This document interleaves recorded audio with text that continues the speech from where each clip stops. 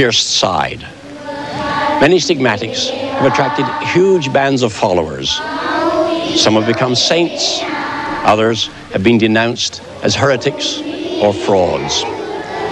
Behind the religious phenomenon lies a fascinating medical mystery that doctors are still trying to untangle.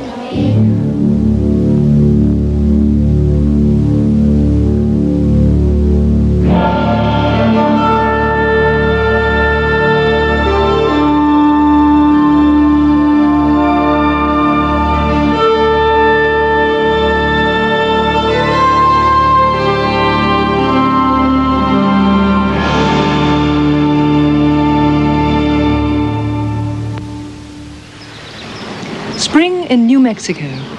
Preacher Lucy Rael heads home for a unique celebration of Easter. You're tuned to KKIT Taos, New Mexico, 1340 on your AM radio dial. This is Evangelist Lucy Rael reminding you that I will be coming home to the Bethel Deliverance Church in Taos for two great Easter services on Sunday, April the 22nd at 5 a.m. in the morning and 7 p.m. at night. Remember, all the marks of Christ's crucifixion appear in my body at this time. Come and be For Lucy Rael, these Easter services in Taos bring a break from her missionary tours of America and a chance to show family and followers at home the stigmata which never fail to appear on the anniversary of the crucifixion. Hi, Brian. How are you? During Easter time, all the marks appear on my body. That is, the, an imprint of crown of thorns comes upon my forehead, and I also get the nail prints on my hands, and then I get the nail prints on my feet, and that also goes from top to bottom of my feet, and I get the stripes on my back, and I get a wound on my side, uh, the same side that Jesus was pierced uh, during the time of the crucifixion. My daughter also, Angelica, uh, the stigmata appears in her body also. Angelica was just three weeks old when she first showed the signs. Her wounds mimicked her mother's. At every church, Lucy packs in the people. They come to witness the stigmata and enjoy her spectacular brand of evangelism.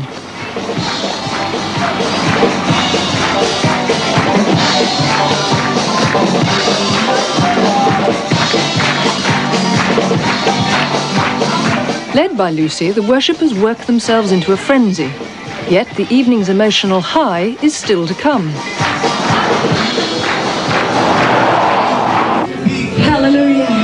I want some of you people just come up to the front and help pray for just a few moments. Glory to God. Hallelujah. Come on. Apparently, quite suddenly, the wounds in Lucy's hands begin to open. My God, the blood is coming. Come on and praise the Lord. People, the, the blood is beginning to come. Hallelujah.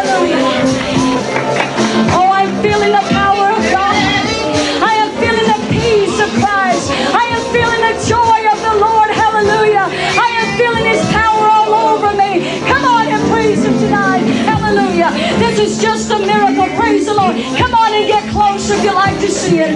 Hallelujah. Praise the Lord. Thank you, Jesus. There's a little bit of the, bl- uh, just a, a tiny, it seems to me there's a tiny little wound. Praise the Lord. Hallelujah. Stay in the. Lucy believes the stigmata are a sign that she has the power of healing. Thank you, Jesus. Hallelujah. God, in the name of Jesus, I claim a miracle right now. Lord, that you will just touch her right now. That you will just heal her right now. God, in the name of Jesus. Oh, God, give her a miracle right now. In the name of Jesus, somebody take care of that woman. Thank you, Jesus. Ayúdame a orar. Ayúdame a orar. The faithful accept the stigmata without question. To them, there is certain miracle.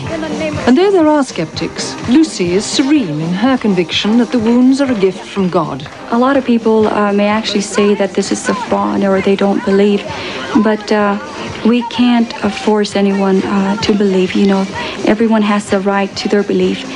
We know that there's not everybody's going to believe, and all I can do is just pray. Well, we just love them all. We love the believers and we love the unbelievers, so we just love everyone and we just pray for them. The first to show stigmata was St. Francis of Assisi. His wounds appeared in 1224. In 1375, St. Catherine of Siena claimed rays of light from a crucifix burned into her hands, feet, and chest. German Anne Catherine Emmerich suffered from the stigmata for 13 years, every Easter until she died in 1824. For four years, from 1899, Italian Gemma Galgani bled every week on Thursdays and Fridays. The 1920s to the 50s, Therese Neumann relived the crucifixion every weekend in Konnersreuth, Germany. Blood flowed copiously from her face, feet and chest. But fellow German Otto Muck from Berlin failed to impress the experts in the 1930s. They said his wounds were self-inflicted. And the claims of this woman, Italian Gigliola Giorgini, have fared just as badly. Wounds on her arms, which she said were stigmata, brought her fame, followers and riches, including this luxurious villa near Rome. But in 1984, the religious order she'd founded was exposed as a front for corruption. Gigliola Giorgini was jailed for 10 years. The stigmata of Maria de Conceição from Portugal are still being investigated by doctors. While a self-styled Pope, Clemente Gomez, uses his stigmata to attract vast congregations to his cathedral in southern Spain. But the most venerated stigmatic of modern times was Padre Pio. His wounds appeared in 1918 and bled for half a century. Each day before dawn, huge crowds queued to hear him say Mass. When the church doors were opened, pilgrims jostled for the best view of the man they revered as a saint.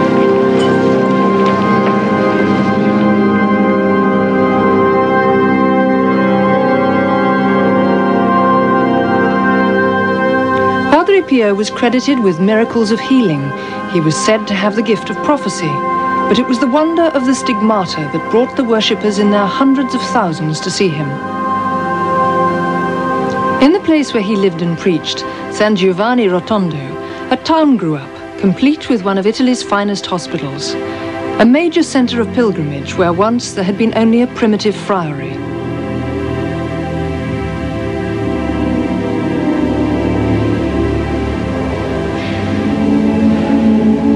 Padre Pio was in the Friary Chapel in September 1918, praying in front of the crucifix, when the stigmata first appeared. He was actually sitting over in this first place in the gallery, making his thanksgiving after Mass. The actual physical stigmatization seems to have come about in this way that from the resurrected body of Christ, which was in front of Padre Pio on that uh, 20th of September 1918, from the spot of the crucifixion on our Lord's resurrected body came rays of light, which a Dublin doctor explained to me as signs of energy. They crossed the room and went over to Father Pio and opened the secret wounds which had been on his body for eight entire years. That's all we know. The relics of Padre Pio's stigmata are preserved in his cell in the friary. Here's the window that Father Pio would wave and bless from. His sandals on the floor in this case. The shoe size is actually a nine. But as you notice, the sandals are greatly enlarged by the shoemaker because of the swelling from the wounds in the feet. On the writing table, his books of meditation, his rosary, which he said constantly, all through the night and all through the day a plastic box holding the chips of crusted blood which would fall from his hands when he'd take off his gloves to celebrate Mass. Here are the gloves in the corner of the desk, which looks like a small handkerchief folded in half, stained by the blood that would come out from the wound that went through his heart. Soon after the stigmata first appeared, Padre Pio hid his hands from the public gaze, except during Mass when the bleeding wounds could be glimpsed. One of the few to see them at close quarters was Monsignor Michael Buckley. Because I was a student and studying for the priesthood, I was given the special privilege of serving his Mass. And before Mass, he had mittens, and he used to take these mittens off. And then he had a very long alb that covered his hand. Now, as a server, I was kneeling behind him, and so his hand was between me and the candle. And when he lifted up his hands to pray, the alb fell back from his hands, and you could see the light of the candle through his hands as if uh, it was filled with blood. Padre Pio's assistant was shocked by the wounds. I had prayed to see them, but unfortunately, when I saw them, it looks like a lepro- leprous hand. I said, God, don't let me see them again. While applying a soothing bandage to his chest, Father Alessio also saw the wound in his side. Not uh, uh, that I made a trick on him, but I tried to unbutton the, the thing. I did.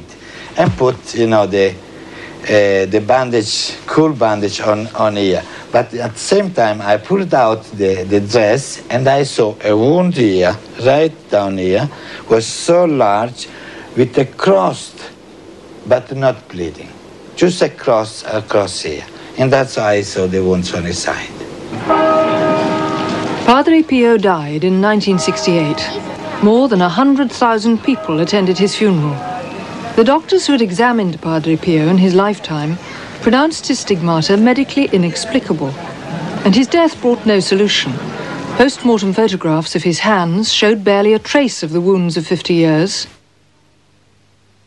His side showed only a fine scar. His feet were completely healed. Today, in Manfredonia near San Giovanni, this man, the devil's advocate, is charged with assessing the life of Padre Pio. Don Antonio D'Amico is a member of a Vatican tribunal, which will decide whether Padre Pio should be beatified, the first step to sainthood.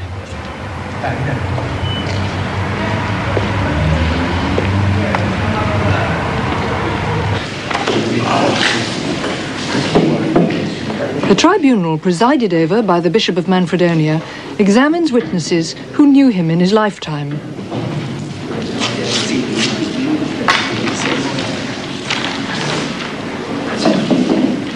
The questions are sent direct from the Vatican. But the one certain answer is that the mystery of Padre Pio's stigmata will remain as tantalizing and unsolved as it has done for half a century. A curious feature of stigmata is they usually occur in the wrong places. We know that the Romans crucified their victims by driving nails to their wrists, yet stigmatics bleed from the palms of the hands. Moreover, although the Bible says that Jesus was pierced in the side, it doesn't say which side. Some stigmatics bleed from the right, others from the left. They can't all be correct. What the wounds of stigmatics do match are those shown in the pictures and crucifixes in their own churches. This strongly suggests that stigmata are produced not by knives or fingernails, as some skeptics have claimed, but by a much sharper instrument, the human mind. Here's an even more striking example from the medical literature. It involves a British officer in World War II.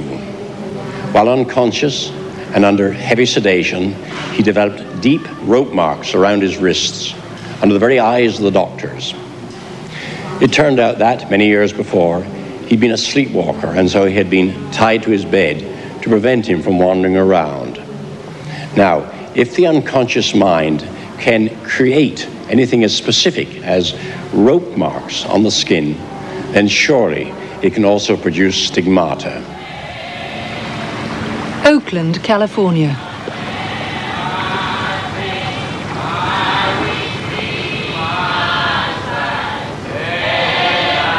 The New Light Baptist Church.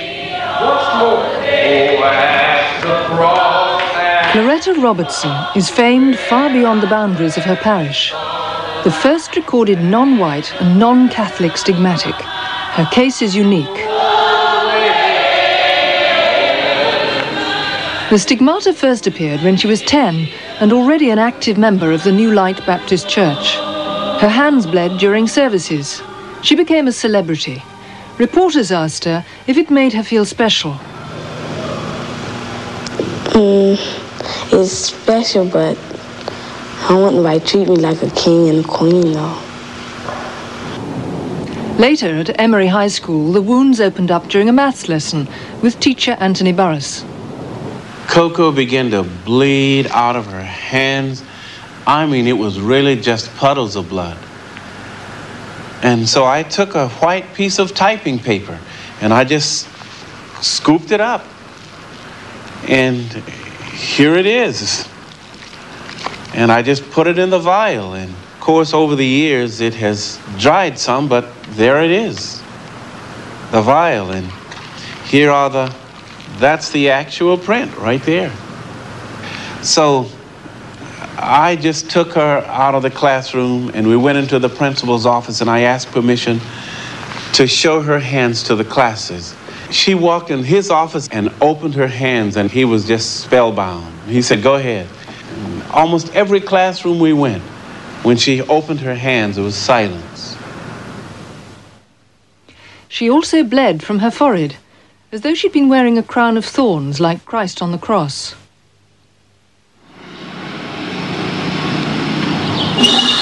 At home in suburban Oakland, Claretta's mother, Alice, was amazed and alarmed when her daughter first began to bleed with the stigmata.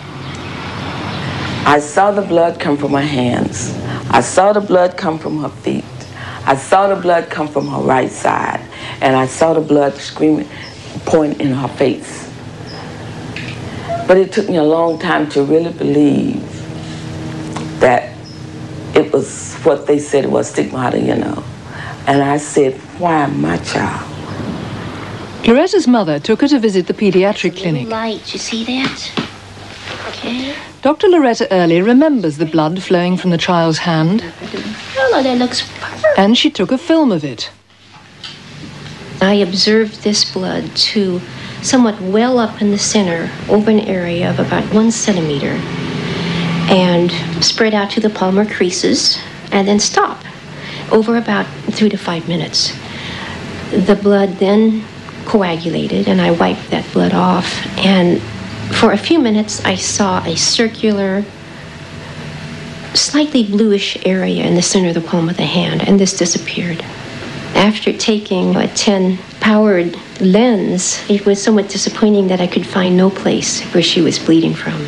It was significant that uh, the, during the week prior to this onset, uh, she was reading a book called Crossroads by John Webster, a book that I was familiar with, and it was a book about the crucifixion and the agony which Christ went through. And it's a, a very emotional book of, of the agony during those last few hours that Christ was on earth. Claretta identified closely with Christ's suffering, Dr. Early concluded. The intensity of her feelings might have caused her to bleed in sympathy. The doctors could offer no other explanation. There was nothing medically unusual about her. The blood was her own and normal.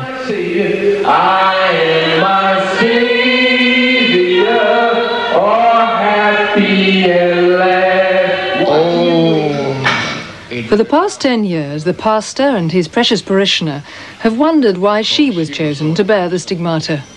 I've often wondered, well, why me? You know, why not one of my sisters or why not one of my brothers? But he did cho- chose me. There are a lot of people that don't believe that there's a God or Jesus. And I think he did it to show people that there is a God. As Claretta has grown older, living with the stigmata has become more of a strain. I was out to dinner with a friend, and um, this is the second time this has happened. And we were just sitting there. Maitre d' had brought our food.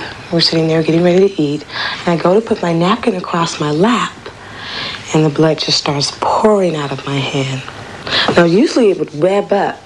This day, it poured out like something like you're just pouring something out of a glass. That's the way the blood came out of my hand. I couldn't explain it to anyone, you know, I could do anything but sit there and rush to the bathroom, you know.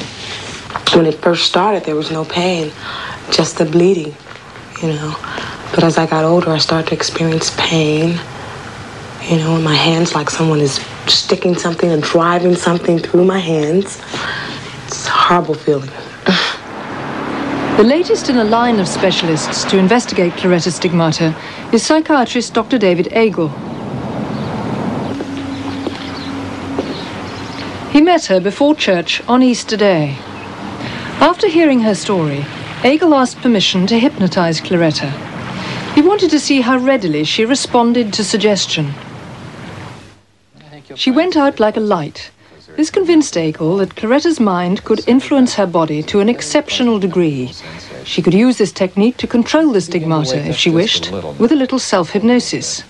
A little bit more awake, not completely.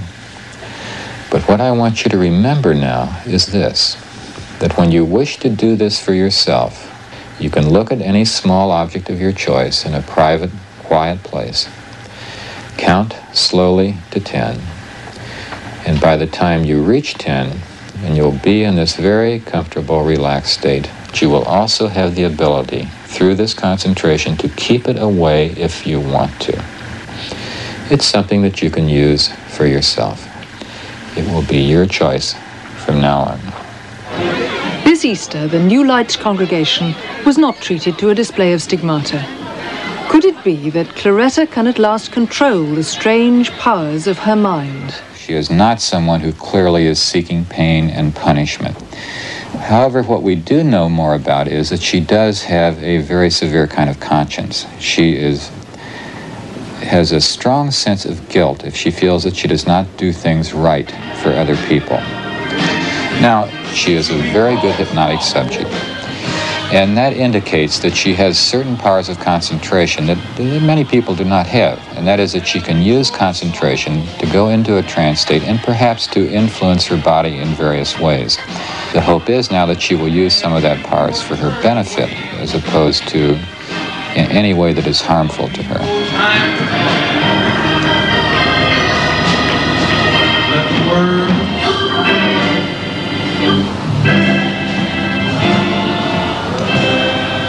Are stigmatics genuine?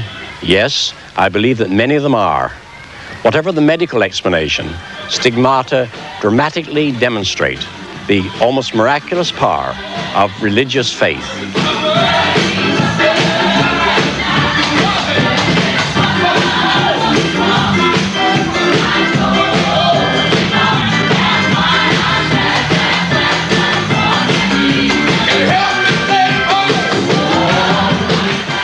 Tomorrow at 7.30, Arthur C. Clarke tells some spooky ghost stories.